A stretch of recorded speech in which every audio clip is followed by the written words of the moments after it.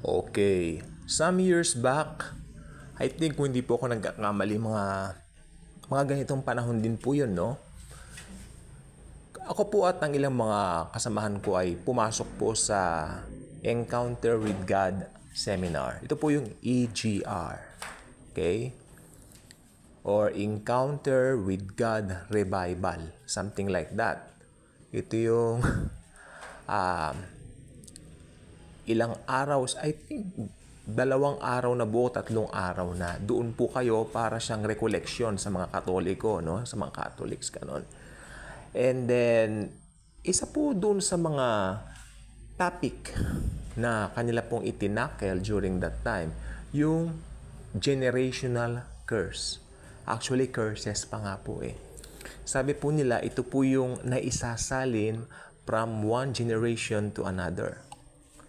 At para daw matanggal yung mga generational curses na minana mo, actually curses, madami daw eh, kailangan mo raw pumunta roon at magpalista. Actually, na po sinabi, lalaya ka.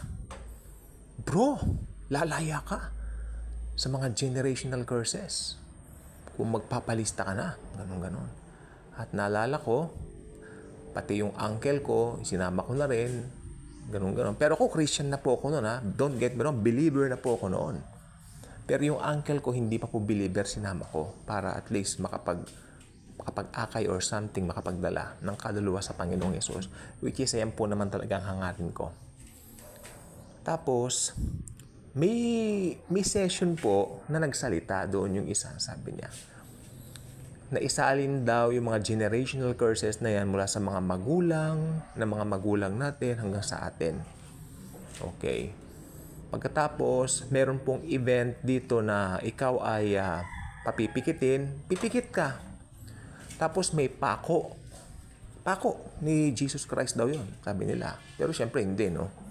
Tapos yung koronang tinik, parang tutusukin ka ng bahagya. Bahagya lang naman para ganito yung, ganito yung kanyang sinasabi habang nakatusok yung pako ng bahagya.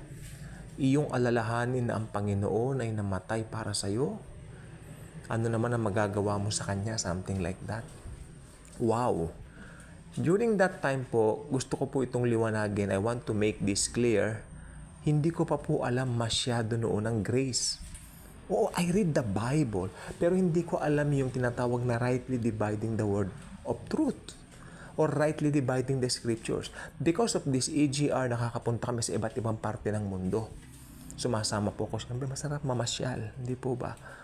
But, nung nakilala ko talaga yung grace, it's all about the Lord Jesus Himself.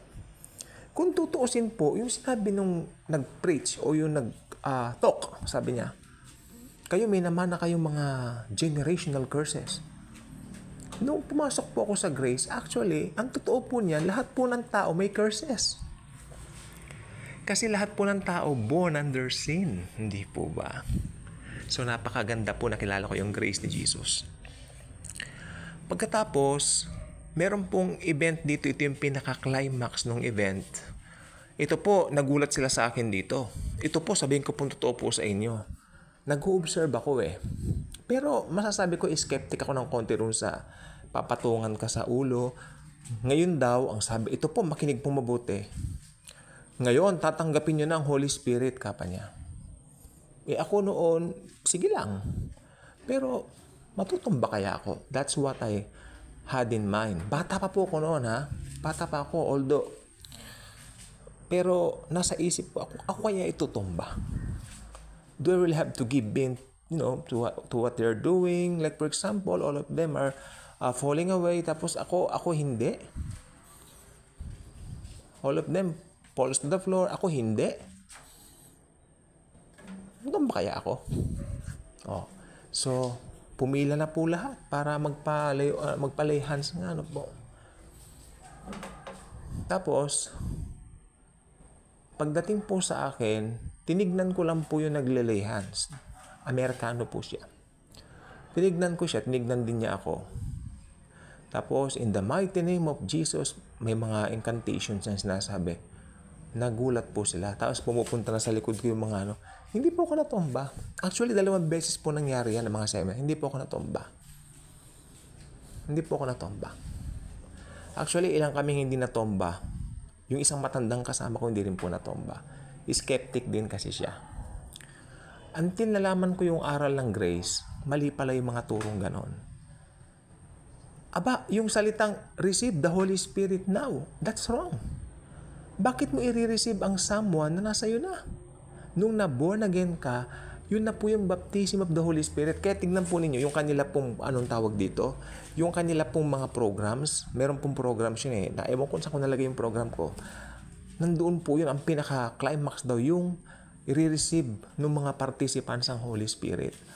O tapos meron pang isang program doon nung pagkatapos ng pananghalian yung uh, itataboy daw nung speaker yung Diablo.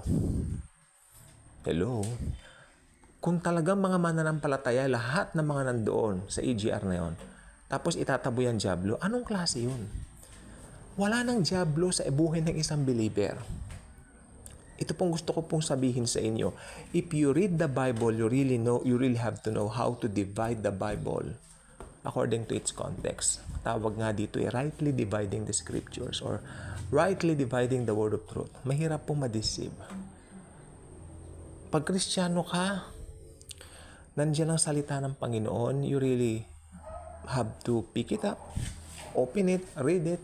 Sa mga cellphones natin, nandiyan na po, buksan mo lang yung app mo, magbasa po tayo kasi naisip ko nga po kanina, kasi may nakita po akong kasamahan ko dati na kasama namin nag ano doon, sumama. So, syempre na-recall ko po ano po, ganyan naman po talaga ang buhay. Eh.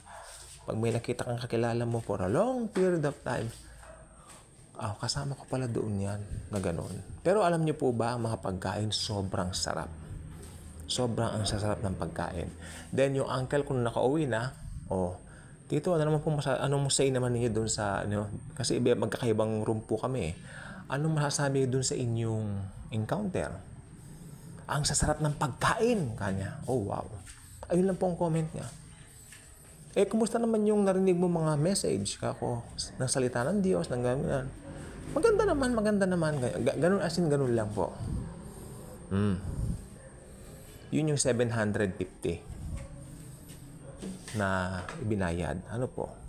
Sa bagay, more na po yung 750 kasi ang dami pong participants. So, sulit naman po. And during that time, ilang years ago na po yung malaking, malaking pera na po yon. Kaya sabi ko po, uh, tingnan mo nga naman ano,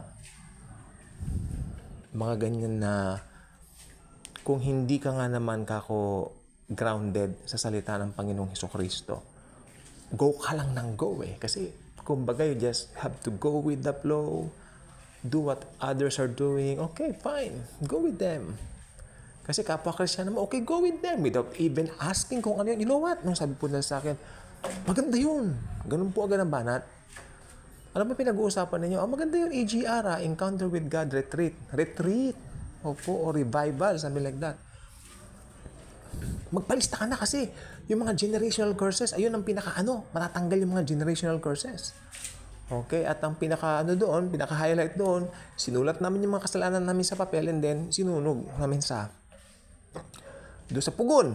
May pugon po kasi doon eh. Parang siguro, yeah, ginamit for that. Ang, ang sabi ko, pagkatapos nung kumanta ng Malaya, Malaya, Malaya, di ba? Ako naman do, during that time, nakakauwi na ako. Mm. Nakakauwi na ako. Mas gusto ko yung Bible reading, sarili ko, kasi parang hindi po ako nasatisfied doon. Sa totoo lang po. Gusto ko nang umuwi. Ah, ang dami ng abala, nagdala ko ng mga unan, gusto ko nang labahan yung unan ko. Tapos naliligo ako yung banyo, yung, yung banyo, uh, sira pa yung pintuan, mabuti merong tawag dito, may sako para makaligo kami. So, ibig sabihin, may mga inconvenience po dun sa place, actually. Pero dun sa mga rooms po naman, eh, air condition. Sa totoo lang po, maganda.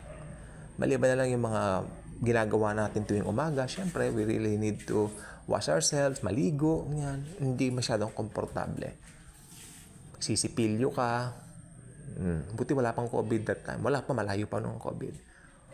Magsisipilyo ka, eh, syempre, may mga tabi-tabing gripo naman. All of you, doon.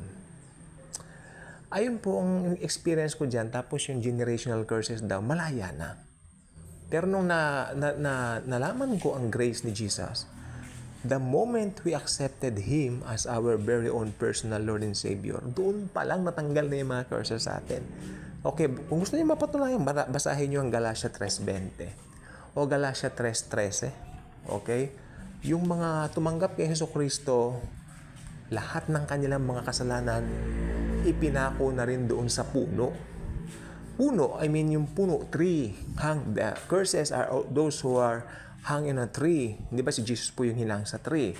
In order to represent us. Ganun po. Yun, na, ano, naalala ko lang po. And anyway, this is a good vlog dahil gusto ko po pounded tayo, grounded tayo kung sino tayo kay Christ Jesus na malaya tayo. Malaya tayo. Tapos kanta kami ng kanta ng Come Holy Spirit, Come Holy Spirit.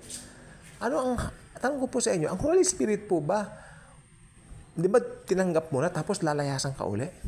No, hindi po. Ang Holy Spirit, sabi po ni Jesus, He will be with you and be with you forever. So, kanino tayo maniniwala? Lang po ang tanong ko. Siyempre, sa Panginoong Jesus. Kaya kung hindi pa kayo subscriber sa channel na ito, I invite you to do so. Medyo napahaba, pero okay lang po. I, uh, I uh, really feel urged to do this dahil sa totoo lang po, marami po ako nakikita ng believers na parang hindi nga nila alam talaga kung sino sila kay Lord Jesus. Okay? So, naka, nakatulong to.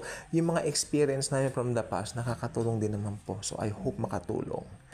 Medyo hindi nga lang po magandang pakiramdam ko po ngayon dahil init na init pong katawan ko. Parang sumusumpong yung hika ko. Ganun po. Pero okay lang po naman. Pero hindi ko mapapalampas na hindi gawa ng vlog ito. Kasi, nung mga panahon na yon sa totoo lang po, I can say that I'm innocent. A new believer, bagong believer ka eh. Di ba? Pero, alam po ba ninyo, itong gusto ko sabihin, yung mga experience natin from the past na yan, gagamitin po ni Lord yan para mula doon lumago tayo. Okay? Thank you. And Jesus truly loves us all.